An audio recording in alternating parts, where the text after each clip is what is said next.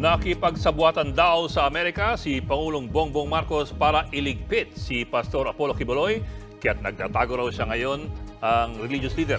Kasabay niya nanawagan ng pastor na mag-resign sina PBBM, ang First Lady at ang House Speaker. Narito ang aking report. Ang buhay ko ngayon ay nanganganib.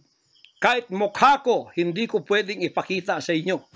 Inamin ng leader ng Kingdom of Jesus Christ si Pastor Apollo Kibuloy na nagtatago siya ngayon bunsod ng anyay banta sa kanyang buhay. Malalaking tao raw ang nasa likod ng planong bigla na lang siyang dukutin at patayin.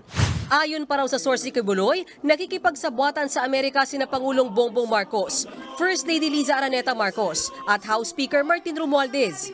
Hanggang maaga pa, Bongbong Marcos, Lisa Marcos, Martin Romualdez, bumaba na kayo sa posisyon mag-resign na kayo sapagkat hindi hihinto ang tinig na ito habang naririyan pa kayo.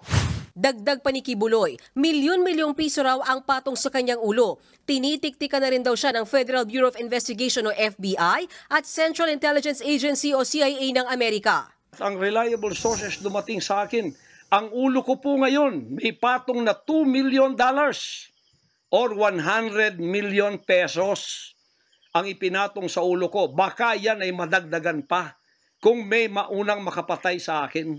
Hindi po ako magpaparesto sapagkat ako po ay siguradong papatayin.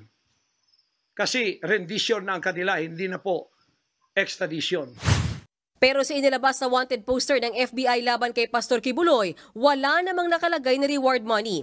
Ayon sa US Embassy, higit isang dekada nang iniuugnay si Kibuloy sa mga kaso ng pang-aabuso sa karapatang pantao, kabilang ang rape. Kumpiyansa ang Amerika na makakamit din ng hustisya sa mga anilay kasuklam-suklam na krimen ng pastor.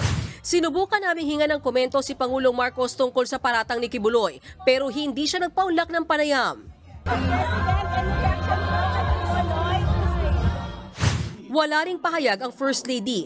Naglabas naman ng statement si Speaker Romualdez. Anya, nagtatrabaho sila ni PBBM alinsunod sa ating konstitusyon. Wala raw basihan ang paratang ng pastor na nakikipagsabotan sila sa Amerika. Inililihis lang daw nitong atensyon mula sa mas seryosong usaping legal.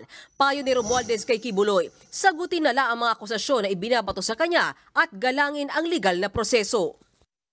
Mga kapatid, Lucy Cruz Valdez po, maging maalam at may pakialam sa mga napapanahong balita sa bansa. Tumutok at mag-subscribe sa News 5 social media pages.